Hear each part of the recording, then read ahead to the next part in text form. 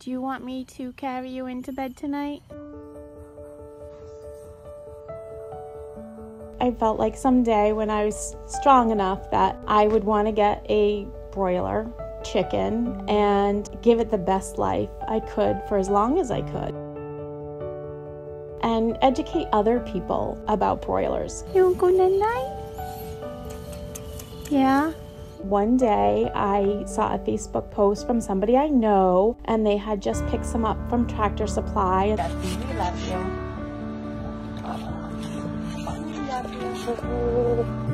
Yummy.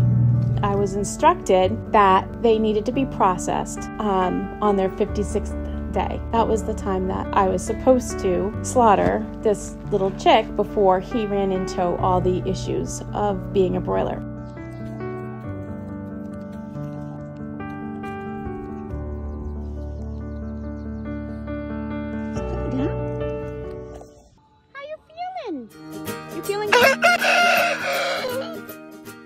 Feppy. I was so completely in love with him. I'm gonna pet you. Oh, I pet you. Hi, buddy.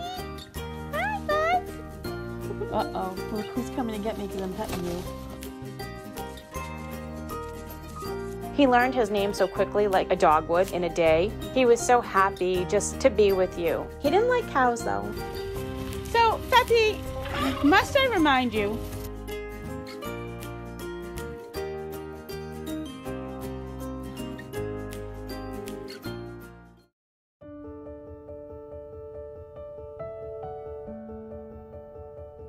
It was always such a hard word for me because I felt like his heart never ever once failed him. His heart, it beat three years, three years more than it was intended to.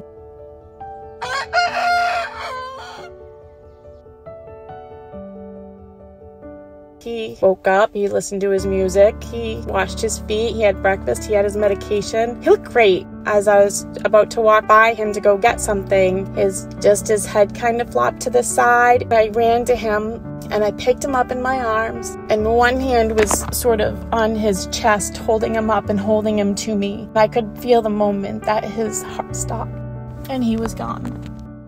You're such a good boy, Feppy. We love you. We love you.